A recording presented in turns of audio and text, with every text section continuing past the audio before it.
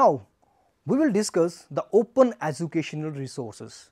Now, I hope you better understand the meaning of open as we have just discussed the open education licenses that is a Creative Commons license.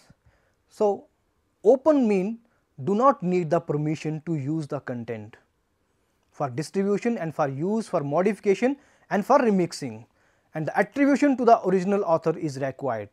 The content is almost free and then we have the educational that is content which is for educational use and we have the resources. Resources mean the type of content. Then the type of content it may be images, it may be video, it may be document, it may be interactive and it may be immersive content. This immersive term may be new for you. Immersive is used when you are viewing the content relevant to the augmented and virtual reality. Which give you an immersive environment, so the learners can think they are actually inside that environment. So, open education resources are educational content that reside in public domain or have been released under an open license that permit their fair use and repurposing by others. Open education resources should meet the two criterias. The first is the format of the content and second is the nature of the content. The format is saying that it should be adaptable easily by the learners and the second permits its free use and repurposing by others that solely depends upon the licensing.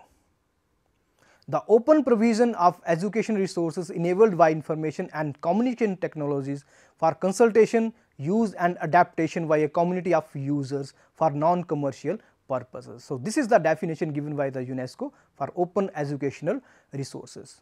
Open education resources are digitized material offered freely and openly for educators, students, self learners to use and reuse for teaching and learning process and even for research.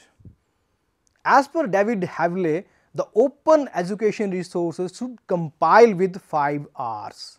The first is retain, the right to make, own and control copies of the content. For example, one can download, one can make duplicate copies, one can store and one can manage these resources.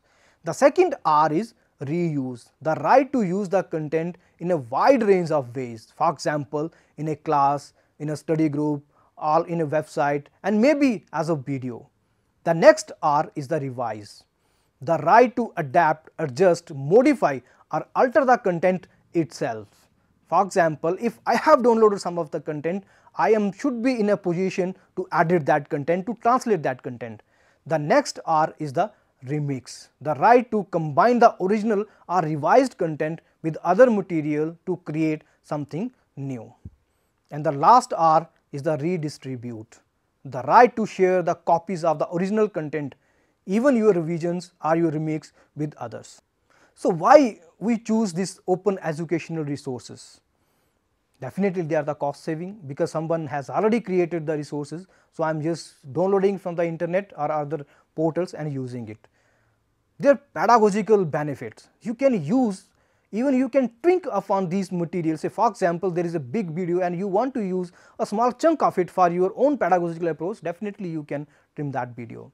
Knowledge creation and disseminations there are many people who are actually able to create the good content. And if these people are create their own content and sharing irrespective of where they are sitting or what level they are having their own organizations it will create a knowledge hub. Scalability. There is no issue with the scalability. You can have as many as copies to distribute as many as peoples. Quick circulation because it is available online. Expanded access to the learning ties for the alumni. This is very important. Say for example if some alumni are being retired from your institutions and they are good for creating the this open education resources or e-content we should use them. Showcasing of innovation and talent. Now anyone can show their talent. Say for example, if you develop some good content definitely you can upload it on YouTube and you will be popular. Continually improved resources. The first part for selection of the open education resource for the tech savvy teachers is to find out the license of the content. definitely it should be the open license. So, that when you are using that content and you are releasing that content to the internet someone else can use that content and edit and modify as their pedagogical needs. And the quality of the content you must have a peer review process for adaptation of these content. Adaptability, modularity and printability.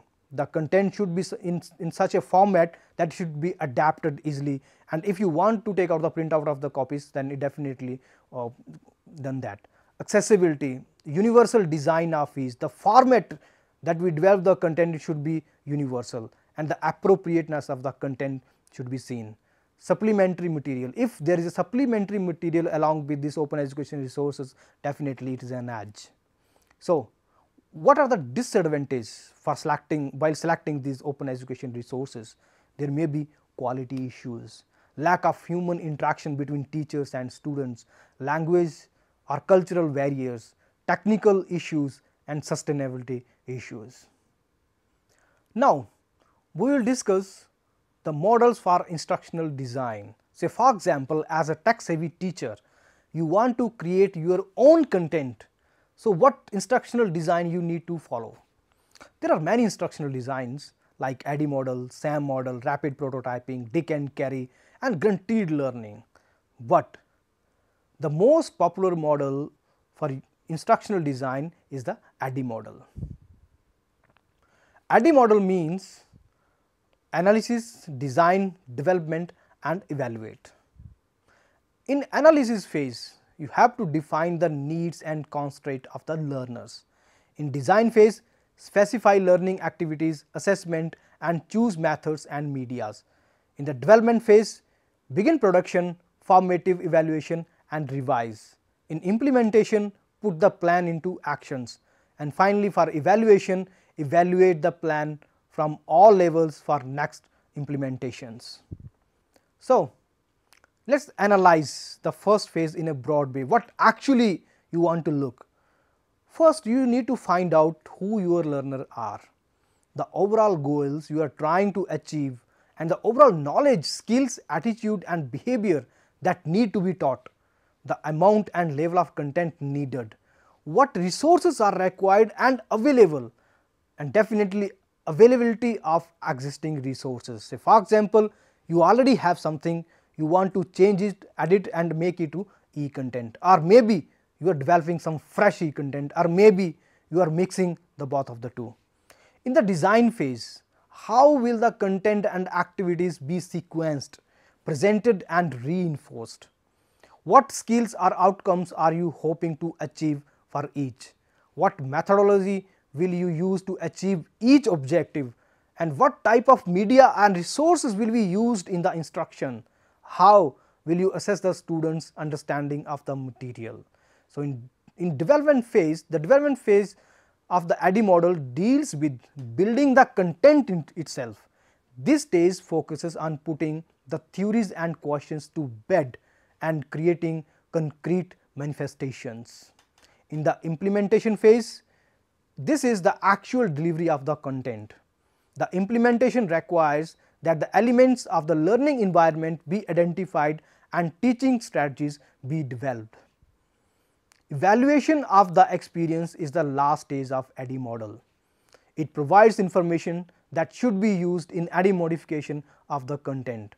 Evaluation is best done when an independent evaluator takes notes and details issues for resolution. So, this is the beauty of the ADDIE model that there is a provision for revision in each and every stage. For example, when you go for the design phase and you find out that there are dissimilarities in the phase, go back and revise the analysis phase. And like this, you can revise each and every step at any stage to have a better instructional design.